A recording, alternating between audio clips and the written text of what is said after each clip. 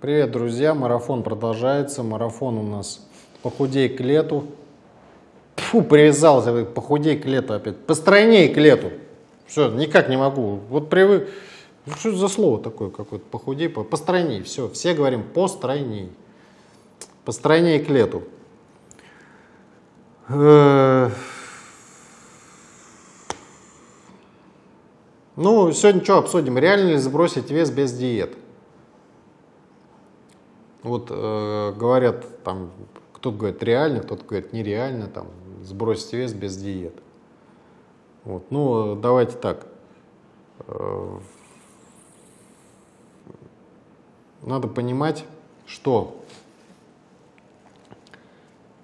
либо вы меньше едите, либо вы больше двигаетесь, да, то есть вот два варианта, потому что э, то, что поступило в организм, то, что поступило в организм, должно из него уйти. Иначе вес тела будет накапливаться. Уйти оно может только путем движения. Движение бывает двух видов. Первый вид движения – это движение внутреннее, то есть обмен клеток внутри организма, сами клетки копошатся, да, из которых мы состоим, и они на это энергию тратят. И вот они больше всего тратят энергии, клетки. А клетками кто руководит, вспомните, я говорил тут недавно – гипоталамус, да, ну вот, не забываем про него. А, это раз. А вот что касается другого типа движения, это движение внешнее, когда вы внешне двигаетесь, и за счет этого что вы делаете? Там бежите, там, занимаетесь спортом там, и так далее. Что вы делаете? Как вы думаете, что вы делаете за счет этого? Вы заставляете вот эти клетки свои 50 триллионов клеток, из которых вы состоите, еще сильнее двигаться, кровь начинает там бурлить все там и так далее.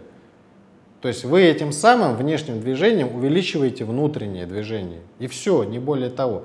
Оно, внутреннее движение, обеспечивает нужды вашего внешнего. И мы можем таким образом за счет движения напрямую влиять на метаболизм. То есть в разы его увеличивать. Сознательно увеличивать можем.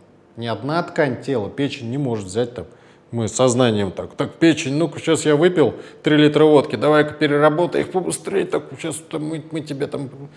Вы так не можете сделать, да? А мышцы вы можете контролировать, то есть и через мышцы влиять на обмен веществ.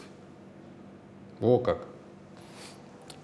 Поэтому, кто хочет худеть без диет, ешь все, что хочешь, но при этом есть необходимость много двигаться, то есть ходить. Ходить лучше в горку, у кого здоровье позволяет. Это для здоровых способ. в горку на беговой дорожке устанавливайте угол 15 градусов наклона, скорость 6 километров в час. Вот. И пройти вы будете должны такую примерно расстояние, чтобы оказаться на высоте 2 километра. Ну, прям гипотетически, да, представить, что вы на высоте 2 километра.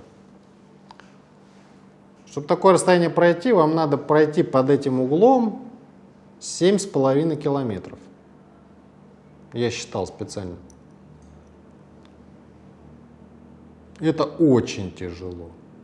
Ну, это, ну, это крайне тяжело. Это просто сходу это не получится по-любому. И пройти вы это сможете там в течение дня какими-то урывками там и так далее. С половиной километров. То есть, ну это, ну это просто, ну это, кто не представляет просто, что это такое, это, ну это просто очень адски тяжело. Под таким углом подниматься вверх с э, достаточно большой скоростью. Вот. Э, но если вы будете каждый день такое, такое делать, э, то вы можете есть все, что хотите. Вы можете хоть весь Макдональдс съесть, там, я не знаю, с его э, соусами всеми вот так залиться и запиться. Все, у вас организм все равно переработает все.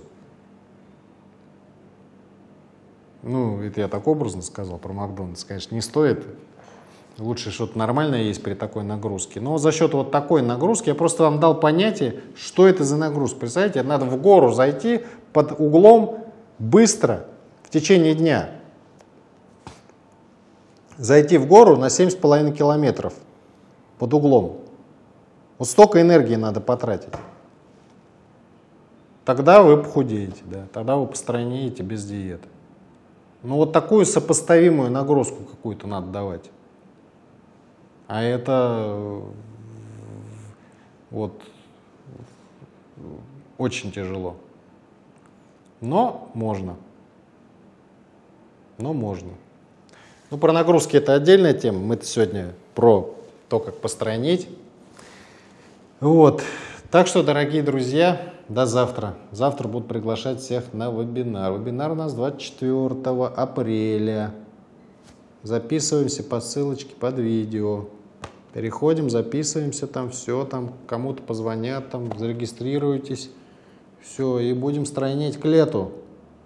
Потому что лето – это маленькая жизнь, да, как в песне поется в одной. Надо ее прожить, ну, как, чтобы приятно было самому себе, там, самой себе, чтобы быть мужчинам авторитетными, женщинами красивыми, чтобы все было хорошо. Пока, до завтра.